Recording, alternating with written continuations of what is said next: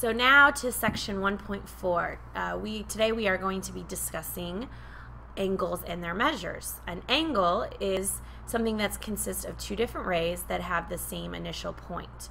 Um, they can also be two segments or two lines. How do you name an angle, Mrs. Hochgrebe? Great question, Mrs. Palermo. To name an angle, we want to make sure that we focus on where the vertex of that angle is. So looking to see what is that one common point that those two rays share. So I see you're kind of hitting down here. So what's the vertex of this? Let's go backwards here. Good question. The vertex is point A. So you could say point A or you could just say A. Absolutely. Now, the to name the angle, once I know where the vertex is, I'm going to go ahead and always make sure that that vertex is in the middle of my naming. So I could call this angle BAC or angle CAB. And whenever you're naming them, it's important to always list a point that's on each of the rays, but always making sure that that vertex is in the middle.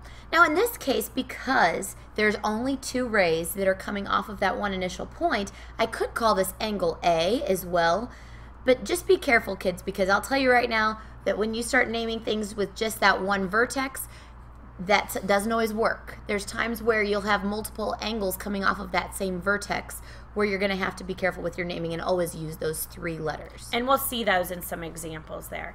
Um, there is one way now, Ms. Hooker didn't say this because it's not actually in the picture, but another way, which sometimes they'll have this in the picture, is they'll have a number inside of the angle. So if this was a 1 inside, we could just say this is angle 1. So that only is true if they have that provided. So you can't just name an angle with a, a number if yeah, it's not there. Don't make up your own numbers.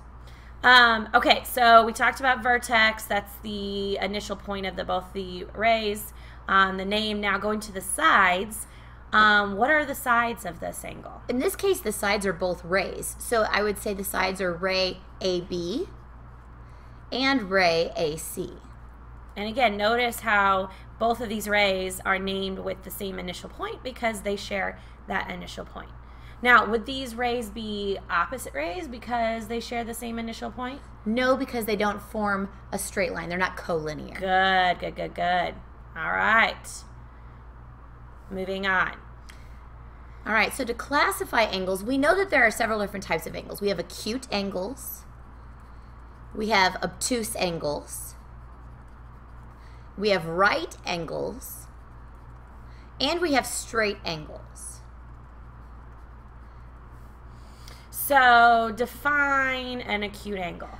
An acute angle would be an angle that most of you guys would say it's less than 90. So we could say it's anywhere from 0 to less than 90 degrees. So this is talking about the measurement. So the measures. measures. So we could even write it as a compound inequality if we want to. Ah. And say ah. that so less than 90 but greater than greater than 0. Well, forgot the than up there. So so somewhere between zero. So like let's say let's this is angle A. Yeah, there is go. between zero and ninety. Perfect. Okay. Now a picture, most people would say, "Oh, it's a cute. It's so adorable. It's small. It's tiny." So let's draw our tiny little angle. So we're gonna go ahead and draw an angle that is somewhere less than ninety degrees. And of uh, course, when we draw our picture, we want to make sure to go ahead and label those pictures as well. So we can call that angle, I don't know, A, B, C, or angle A. There we go. That's fine. All right, obtuse definition. Well, now this one, we know that it has to be more than the 90 degrees. Okay, so. But it also.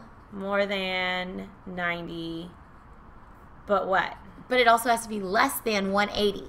So we want to make sure that our angle is not going to be larger than a straight line. It's yeah. going to be somewhere between some, the 90 degrees and You have some line. restrictions on it. So if we use a little compound inequality, if I drew a picture of it, obviously we don't want it to look less than 90. So bigger than one uh, or bigger than 90, but not exactly 180. Something exactly. like that. And Perfect. could be angle B. Lovely. All right, right angle. You know this one. exactly 45. So exactly 90 degrees. That's funny. 45. That's funny. measures 90 degrees. Yes. And the picture of it to show that would look something like it looks something like that. So we have a 90 degree angle and to show a 90 degree angle, you can kind of see the little um, box there kind of to represent that. One thing you're going to see, one thing to comment on on all of these angles, you don't want to necessarily assume by the picture, um, but one way to know that it's a right angle is it has a little a, a box there. Um, straight angle definition. Straight angle would be exactly 180 degrees. Okay, so exactly 180 degrees. And to draw that, what would that look like? Straight line, it looks like, but yeah. it's not really a straight line. It's really two opposite rays. Ooh, using some vocab from a couple days ago. Okay, so it would be basically so if I call this A, B, C, these points, it make up these two opposite rays. Awesome. All right, we've talked about congruent segments. We want to talk today about congruent angles. And to be congruent angles, they're angles that have the same measure. So we've talked about this idea of if they have the same measure, then the angles are, well, we've talked about it with segments. If they had the same measure, the segments were congruent. In this case, if they have the same measure, the angles are congruent. Again, when we talk about congruence, we're talking about their pictures. So their measures are equal. So when you see up here, we see this measures are equal, then the angles are congruent. Now, be careful with this notation. Notice when we talk about the measure of an angle, you put a little m before the angle sign. Okay, that makes sense. So the measure of angle BAC, this would actually be a number. So this could be a mm. 32 degrees. Okay. Okay. Now over here, when you just see angle BAC, that's talking about the picture itself. It's talking about the angle. So angles can be congruent, but their measures can be equal. Okay. All right. Makes sense. All right, so we have uh, already learned two postulates up to this point. Here's another postulate. And remember, a postulate is is a rule. It's true. It doesn't have to be proven. Um, this one is similar to a um, postulate we learned a couple days ago, the ruler postulate. But notice it's the protractor postulate, so kind of a no-brainer. That's going to have to deal with angles instead of segments. Um, this postulate basically says if you want to find a measure of an angle, in this case angle AOB, it is equal to the absolute value, again this should kind of sound familiar to the ruler postulate, of the difference between the real numbers for those rays. So notice ray OB and ray OA where they intersect the protractor, you subtract those coordinates, so 130 minus 25, absolute value if you need to, basically because you want a positive amount, and then that gives you the measure of that angle. So now, technically, I could have done 25 minus 130 because yeah. by taking that absolute value. Yeah.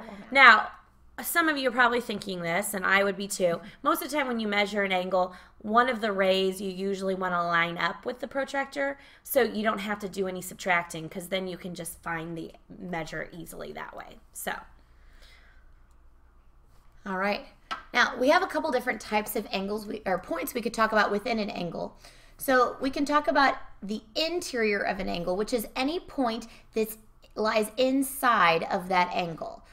We also have the exterior angles, which are points that are outside of the angle. Notice that interior and exterior points are not actually on the angle itself. They're either inside of it or outside of it. That makes sense.